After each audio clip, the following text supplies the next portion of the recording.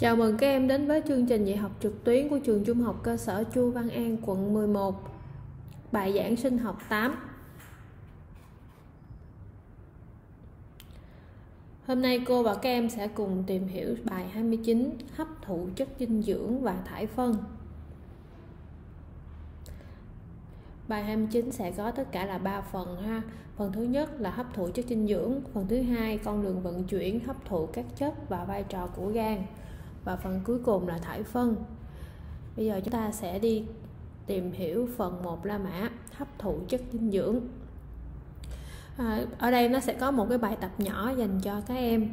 À, cột thứ nhất là các chất trong thức ăn cột thứ hai là những chất dinh dưỡng tạo thành sau khi biến đổi hóa học. Các em hãy nối cột A vào cột B sao cho phù hợp nhé. Đây bây giờ chúng ta sẽ cùng tìm hiểu cái à, đáp án ha. Tinh bột à, thì sau khi biến đổi hóa học nó sẽ biến thành đường đơn. Protein sẽ biến thành axit amin. Lipid sẽ biến đổi thành glycerin và axit béo và axit nucleic sẽ biến đổi thành các thành phần cấu tạo của nucleotide vậy thì thức ăn được hấp thụ ở phần nào của ống tiêu hóa? À, câu trả lời đó chính là ruột non à, các em sẽ thấy ha cấu tạo của ruột non thì à, nó phù hợp với chức năng hấp thụ. À, thứ nhất thứ nhất các em sẽ thấy là ruột non của chúng ta nó dài 2,8 đến 3 mét. À, nó rất là dài cái thứ hai nữa là trên cái niêm mạc thì nó sẽ có nhiều nếp gấp nhiều nếp gấp trên cái niêm mạc ruột non. Đặc điểm thứ ba là trên uh, các cái bề mặt của niêm mạc thì lại có nhiều lông ruột và trên những cái lông ruột lại có một cái hệ thống lông cực nhỏ phía bên trên nữa. À, và ba cái đặc điểm này làm tăng cái diện tích bề mặt bên trong của ruột non lên đến 500 mét vuông. À, tức là nếu như mà chúng ta à, dàn trải rộng ra hết bề mặt à, hấp thụ của ruột non á, thì nó sẽ bằng khoảng 500 mét vuông tức là cỡ một cái sân bóng tennis.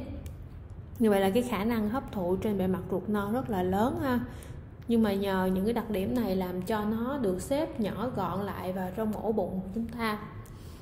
Và đồng thời ruột non còn có các cái mạng lưới mao mạch máu và các cái mao mạch bạch huyết dày đặc. Vậy thì diện tích bề mặt hấp thụ lớn có ý nghĩa gì với khả năng hấp thụ chất dinh dưỡng?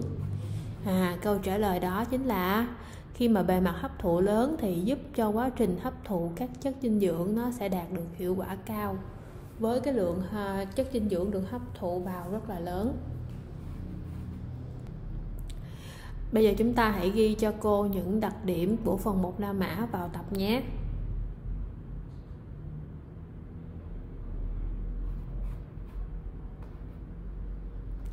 Tiếp tục cô và các em cùng tìm hiểu phần 2 La Mã, con đường vận chuyển, hấp thụ các chất và vai trò của gan.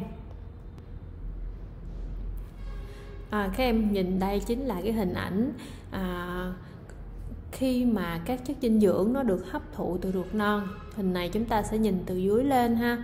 Khi mà chất dinh dưỡng được hấp thụ vào trong ruột non rồi thì nó sẽ đi vào trong máu bằng hai con đường ha. Các em nhìn thấy rõ ràng là có hai con đường ha. Cái đường màu vàng vàng là đường mạch bạch huyết và đường màu xanh xanh là đường mau mạch máu. Như vậy thì những cái chất đó, nó sẽ đi vào hai con đường như thế nào? À các em sẽ thấy ha với cái đường mao mạch bạch huyết á, thì bao gồm vitamin tan trong dầu là vitamin A, vitamin D, vitamin E và vitamin K. Và 70% lipid ở dạng nhũ tương nó sẽ đi theo cái đường mạch bạch huyết này. À, nó đi thẳng từ ở ngay ruột non đi theo mạch bạch huyết đi lên trên à, và cuối cùng cũng sẽ đổ vào trong cái tĩnh mạch chủ trên của um, à, mau mạch máu. Còn ở phần mau mạch máu ha thì nó sẽ có 30% lipid. À, tức là lipid lúc này nó đã được chuyển hóa thành glycerin và axit béo. Đường đơn nè vitamin tan trong nước là những vitamin còn lại axit amin nước và muối khoáng.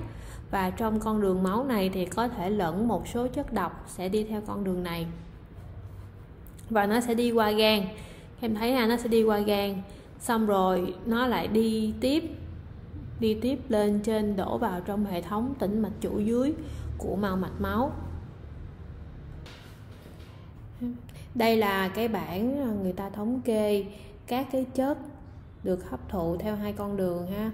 Cái à, bảng ở ờ, phía bên tay trái của các em đó là các chất đi theo đường máu và bảng phía bên tay phải là các chất đi theo đường mạch huyết mà nãy cô đã có trình bày trong hình.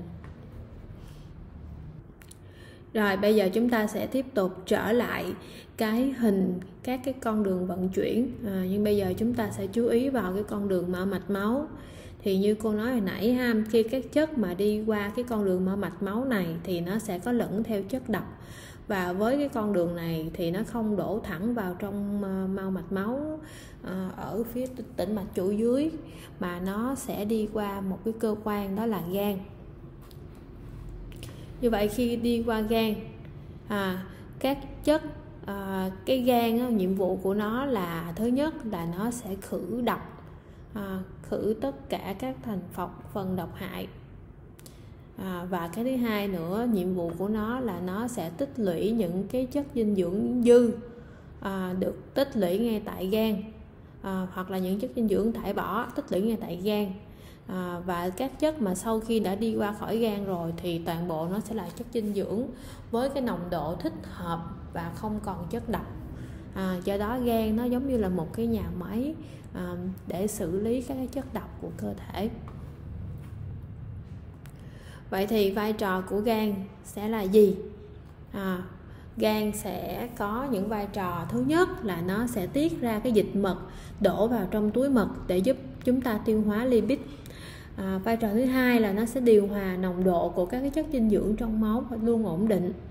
Và vai trò thứ ba là nó khử độc. À, và với cái vai trò quan trọng của gan như vậy á, thì chúng ta cần phải làm gì để bảo vệ gan và giúp cho gan hoạt động tốt? À, thì chúng ta sẽ cần tránh những cái thói quen sau đây. Thứ nhất là chúng ta không uống rượu bia và những chất kích thích quá đà. Thứ hai là chúng ta nên sử dụng những cái thực phẩm sạch và an toàn. À, vì những thực phẩm sạch và an toàn thì nó có ít chất độc hoặc là không có chất độc. Như vậy thì sẽ làm giảm nhẹ cái à, năng suất làm việc của gan ha. Gan nó không làm việc quá quá tải thì à, cái thời gian làm việc của nó sẽ lâu dài bây giờ các em sẽ ghi cho cô những cái đặc điểm thông tin của phần hai la mã vào tập nhé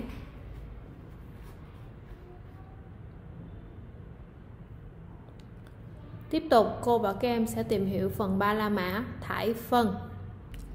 Các em nhìn lên hình là cấu tạo của ruột già. Ruột già của chúng ta có dạng hình chữ U.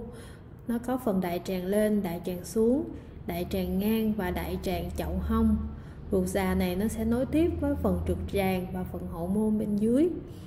Thì cái thức ăn á, sau khi mà đã được chất dinh dưỡng à, đã được hấp thụ vào trong ruột non rồi thì các cái chất thải còn lại bao gồm cả nước còn rất nhiều nó sẽ được đẩy xuống ruột già. Thì vì ở trong các cái chất còn lại nó có rất là nhiều nước cho nên vai trò đầu tiên của ruột già là nó sẽ hấp thụ lại hết các cái nước có trong các thức ăn thừa đó.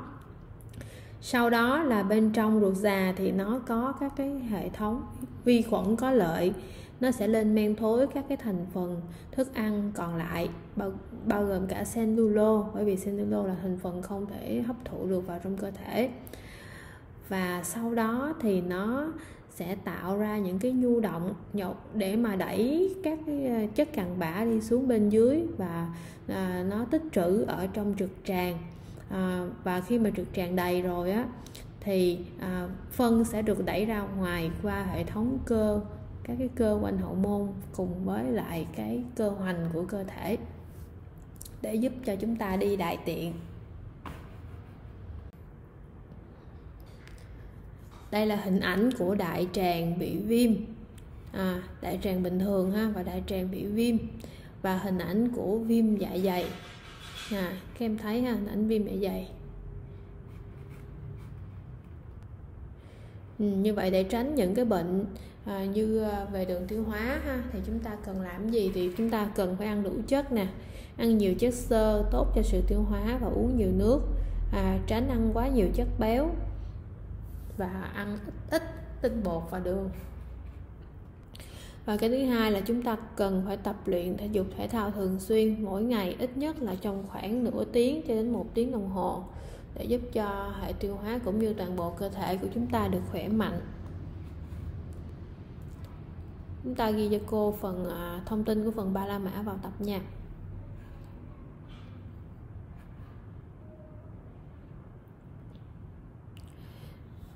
Tiếp tục chúng ta sẽ qua phần luyện tập. À, câu 1 chất dinh dưỡng nào không vận chuyển qua đường máu? Câu trả lời đó là à, câu A là lipid dạng nhũ tương là nó sẽ đi qua đường mạch bạch huyết chứ nó không đi qua đường máu. Câu số 2 quá trình hấp thụ chất dinh dưỡng sẽ diễn ra chủ yếu ở đâu? À nhìn cũng biết rồi ha. Câu trả lời đó chính là câu C ở ruột non câu 3 vai trò chủ yếu của ruột già trong quá trình tiêu hóa là gì? À, câu trả lời đó chính là hấp thụ nước và thải phân. Và câu 4 vai trò chủ yếu của gan trên con đường vận chuyển và hấp thụ các chất đó là? Câu B điều hòa nồng độ các chất và khử độc cho cơ thể. Dặn dò các em về nhà các em học bài các em trả lời cho cô câu hỏi sách giáo khoa ha đọc một em có biết và chuẩn bị cho cô bài à, tiếp theo ở chương trao đổi chất và năng lượng. Lưu ý các em chép bài vào tập đầy đủ cho cô nhé. Bài học đến đây là kết thúc. Thân ái chào tạm biệt các em. Hẹn gặp lại các em ở bài học sau.